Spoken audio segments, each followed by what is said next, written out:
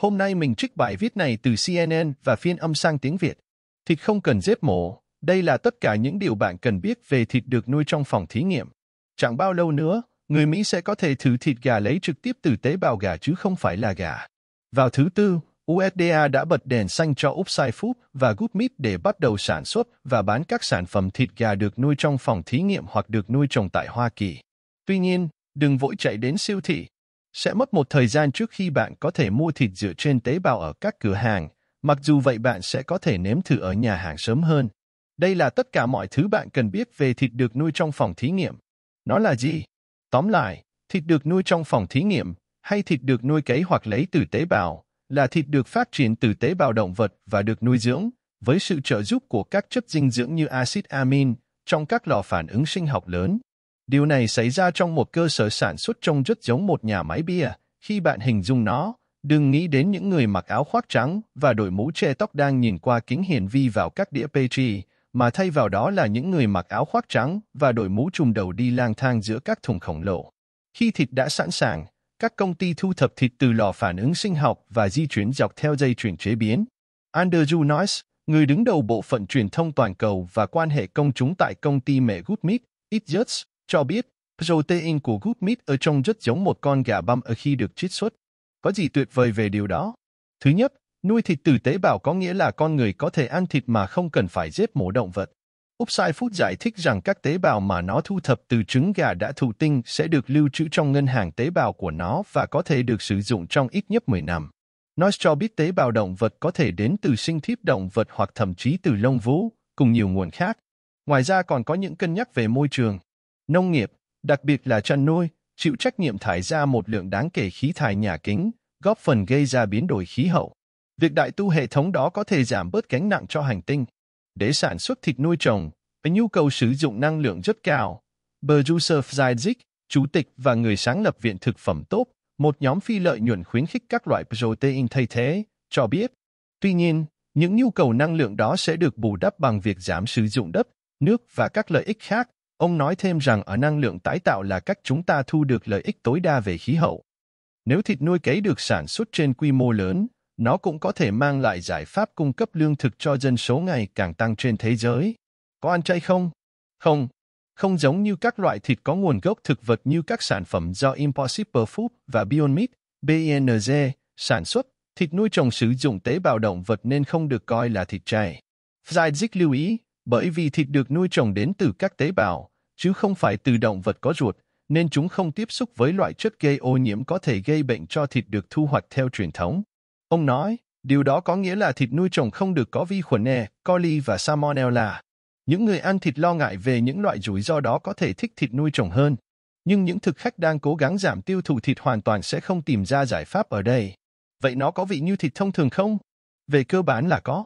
Đó là nhận định của cựu phóng viên CNN Julia Horowitz, người đã thử món thịt viên làm từ tế bào do EV Farm Technology, một công ty của Anh, sản xuất. Theo cách nói của cô ấy, thịt viên ở hơi đặc và có phần nhỏ hơn, không hẳn là phiên bản cổ điển mà bạn tưởng tượng là tan chảy trong miệng tại một nhà hàng Ý. Tuy nhiên, cô lưu ý, nó có vị giống như thịt truyền thống và hương vị đầy đủ và thơm ngon. Một phóng viên của Cinep đã thử món gà trồng của Upside Food cho biết ở món này thực sự có ở có vị giống thịt gà. Những người khác đã thử món gà nuôi của Good Meat, được phép bán ở Singapore vào năm 2020, cũng có phản ứng tương tự. Những gì đã được phê duyệt ở Mỹ? Vào thứ Tư, Cơ quan Kiểm tra và An toàn Thực phẩm của USDA đã phê duyệt đơn đăng ký ở cấp kiểm tra ở của Upside Food và Good Meat. Theo người phát ngôn của FATF, những loại đơn đăng ký đó được phê duyệt theo một quy trình nghiêm ngặt, bao gồm việc đánh giá hệ thống an toàn thực phẩm của công ty. Ngành công nghiệp thịt nuôi trồng non trẻ được quản lý bởi cả USDA và FDA. Trong nhiều tháng qua, các cơ quan đã từng bước phê duyệt các sản phẩm. Vào tháng 11, FDA đã gửi thư không thắc mắc ở tới Upside Food về cơ bản nói rằng họ không có thêm câu hỏi nào về độ an toàn của sản phẩm và do đó coi nó an toàn cho tiêu dùng. Goodmeat nhận được một lá thư tương tự vào tháng 3. Sau đó, vào tháng 6, cả hai công ty đều nhận được sự chấp thuận của USDA cho nhãn mác của họ. Điều đó không có nghĩa là nhất thiết phải mở cửa xả lũ cho tất cả các loại thịt trồng trọt. Nói cho biết, ở chúng tôi sẽ cần phải trải qua một quy trình quản lý khác đối với thịt bò, thịt lợn, hoặc bất kỳ loại protein động vật nào khác, đồng thời lưu ý rằng Good Meat đang ở giai đoạn đầu phát triển thịt bò nuôi trồng. Khi nào tôi có thể thử nó? Sớm? Chà, sẽ sớm thôi và chỉ khi bạn ở một số khu vực nhất định.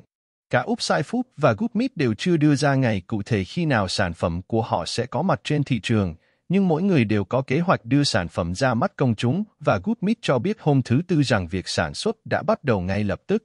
GoodMeet trước đây đã công bố hợp tác với đầu bếp kiêm chủ nhà hàng Jose NZ để mang món này đến một nhà hàng ở Washington, DC và đang làm việc với nhóm của anh ấy để tổ chức buổi ra mắt tại China Chicanono. Khi sản lượng tăng lên, Goodmeat có thể xem xét hợp tác với các nhà hàng khác hoặc tung ra thị trường bán lẻ. Tuy nhiên, Noise cho biết việc ra mắt siêu thị sắp diễn ra. Upside Food đang có kế hoạch giới thiệu sản phẩm của mình tại Barzen, một nhà hàng ở San Francisco, nhưng chưa chia sẻ ngày ra mắt. Một đại diện cho biết việc bán hàng tại Barzen sẽ giúp Upside Food tìm hiểu thêm về cảm nhận của các đầu bếp và thực khách về sản phẩm. Cuối cùng, công ty có kế hoạch hợp tác với các nhà hàng khác và cung cấp sản phẩm của mình trong các siêu thị. Hiện tại, Upside Food đang tổ chức một cuộc thi nhằm cho phép những khách hàng tò mò trở thành một trong những người đầu tiên dùng thử sản phẩm tại Mỹ. Chi phí để thực hiện là bao nhiêu? Nhiều. Phải tốn hơn 300.000 đô la để phát triển loại bánh mì kẹp thịt đầu tiên được trồng trong phòng thí nghiệm, được phục vụ cách đây một thập kỷ. Công ty EV Farm của Anh cho biết năm ngoái họ có thể sản xuất một sản phẩm tương tự với giá dưới 50 đô la Mỹ, CNN đưa tin trước đó. Đó là một cải tiến căn bản, nhưng nó vẫn cao hơn nhiều so với chi phí của một chiếc bánh mì kẹp thịt truyền thống, và hãy tưởng tượng mức tăng giá. Noise không chia sẻ con số cụ thể, nhưng lưu ý rằng ở việc đạt được mức giá ngang bằng đối với chúng tôi, từ quan điểm chi phí hàng hóa và quan điểm chi phí sản xuất, là một thách thức lớn. Ông nói thêm rằng công ty có con đường để đạt được điều đó. Matthew Walker, giám đốc điều hành về thực phẩm và nông nghiệp tại S2J Venture, một nhóm vốn tư nhân định hướng theo sứ mệnh, cho biết sẽ rất tốn kém để xây dựng các cơ sở cho phép đạt được hiệu quả kinh tế theo quy mô. Thách thức thực sự không chỉ là việc chứng minh rằng bạn có thể sản xuất sản phẩm ở một mức giá nhất định trên mỗi bao phù hợp với khẩu vị của một bộ phận người tiêu dùng nhất định, mà bạn có thể chứng minh được hồ sơ lợi nhuận phù hợp đối với tài sản không. Walker nói, ông lưu ý rằng các công ty cũng sẽ phải chứng minh rằng họ có một mô hình có thể mở rộng và lặp lại. Chi phí cho tôi là bao nhiêu? Không rõ ràng, nhưng có vẻ như sản phẩm đầu tiên này sẽ không quá đắt, mặc dù chi phí sản xuất cao. Noise cho biết, gà nuôi của Good Meat sẽ có giá cao hơn một chút hoặc có thể so sánh với các mặt hàng gà khác tại nhà hàng Jose NZ. Noise nói, và nói rõ hơn, công ty chúng tôi không kiếm được tiền từ việc bán hàng này, chúng tôi đang thua lỗ. Ở giai đoạn này, chúng tôi muốn đưa nó ra khỏi đó. Chúng tôi muốn mọi người nếm thử nó, chúng tôi muốn mọi người trải nghiệm nó, chúng tôi muốn mọi người kể cho bạn bè và gia đình của họ về nó. Cuối cùng, Good và Upside Food đều muốn bán sản phẩm cho người tiêu dùng với giá ngang bằng với thịt gà truyền thống hoặc rẻ hơn. Upside Food cho biết họ không tiết lộ chi phí sản xuất nhưng lưu ý rằng sản phẩm của họ sẽ được bán với giá cao hơn so với thịt gà truyền thống. Kristen Joser của CNN đã đóng góp cho báo cáo này. Thân chào. McDonald's Vlog